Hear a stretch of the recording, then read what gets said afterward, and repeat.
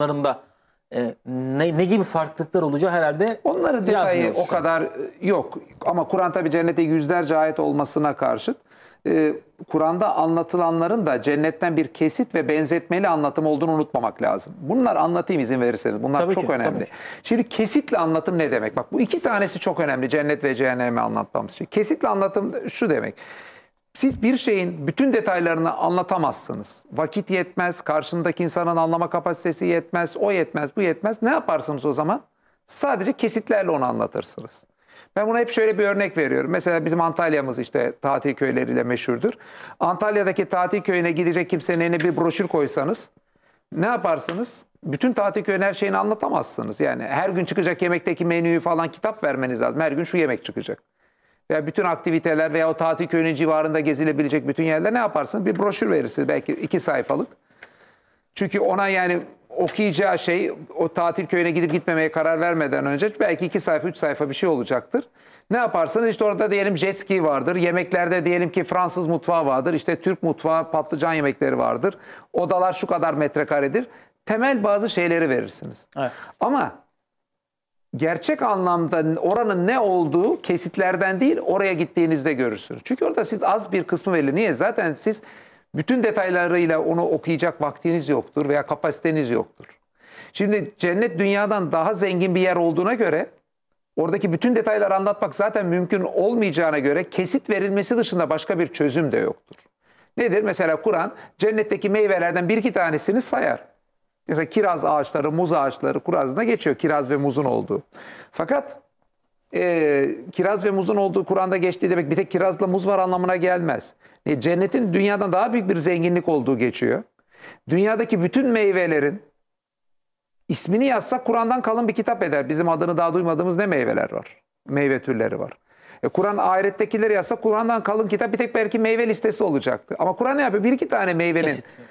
Kesit olarak vererek ama orada meyve gibi dünyada yediğimiz meyveye benzer bir şey olduğunu mantığını veriyor. Birincisi bu kesit.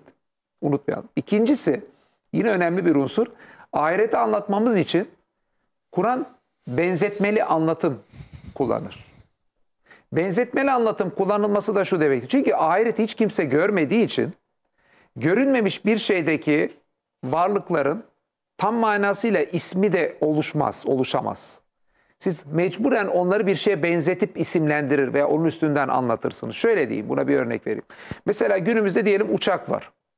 Bundan bin yıl önceki insan için günümüzdeki uçağın tam bir karşılığı isim de yoktur. O dönemdeki kelimelerde bir kelime seçip siz ona uçağı anlatmak zorundasınız. Öyle bir isimlendirme yapmak zorundasınız.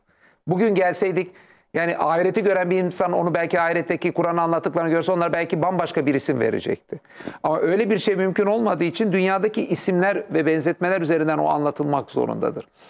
Ee, mesela uçağı ne üzerinden anlatacaktık bin yıl önce gitseydik? İşte koskoca bir kuş diyecektik. Çünkü uçak kelimesinin olmadığı yerde uçağa en yakın Nasıl şey tarif kuştur. edebiliriz? Veyahut da hostesleri neyle anlatacaktınız? İşte aşçı ve servis yapan kızlar kuşun kanatlarında dolaşıyor diyeceksiniz. Motor diye bir kelime de olmamış olacaktı bundan 500 yıl önce dünyada olsaydık değil mi? Motor icat edilmedi diye. E ne diyecektik o zaman? Motor yerine diyelim ki kuşun öyle büyük bir midesi var ki içinde tonlarca kömür yanıyor. Belki enerjiyi tarif etmek için ama kuş yanmıyor. Şimdi bunu hiç anlamayan biri, uçağı görmemiş biri ya kuşun midesinde odunlar yanıyor ama kuş yanmıyor. Kostes mostes kafadan buhar bile çıkabilir. Nasıl bir şey bu? Fakat baktığınız zaman 500 yıl önce olabilecek kelimelerle yapılabilecek en iyi anlatım budur. 500 yıl öncesini insan anlatacağı. Çünkü bizatihi uçak görülmemiştir. Motor diye bir şey icat edilmemiştir. Elinizdeki tek araç benzetmeli anlatımdır. O yüzden Kur'an'daki bana göre Ali İmran suresinin ayeti de bununla ilgili çok İslam tarihinde tartışılmış bir ayettir. Kur'an'ın bir kısım ayetleri muhkemdir, kesir hüküm, bir kısmı da müteşabihattır. Yani- Bana göre müteşabihatın en önemli kısmı benzetmeli anlatımdır. Yani müteşabihatın ayetin olma nedeni de şudur. Yani bizim bir kısım tartışmalarda çözemedikleri konulara müteşabihat demişler. Neyse o, o ayrı bir tartışma ama bana göre müteşabihatın olması gerekli yeri evvela bulmamız lazım ki nerede müteşabihat var Kur'an'da anlayalım. Şimdi müteşabihatın olmasının olmazsa olmaz yeri ahiret veya gayb tipi anlatımlardır. Bizim duyu organları hiç tanıklık etmediğimiz noktalar. Çünkü orada var olan şeyler dünyadakine benzese bile tam manasıyla aynı olmadığı için onu müteşabiyat üzerinden yani bir benzetmeler yapmak üzerinden anlatmak dışında mantıken başka bir yol yoktur.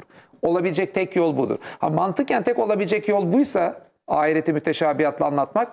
Demek ki Kur'an'daki müteşabihat da işte Ali İmran'daki vurgu özellikle ahiret tipi benzer gayb anlatımlar içindir diye düşünmek lazım. O zaman şunu unutmamamız lazım. Yani Kur'an'da cennetle cehennem anlatılır.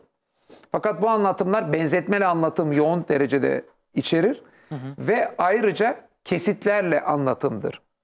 Dünya, bir tatil köyü bile Kur'an'dan kalın bir kitapla biz anlatabiliriz. Bu dünyadan çok daha zengin bir yerin anlatımının o yüzden kesitli anlatım dışında Peki Kadir Kadem sormuş merak ediyorum.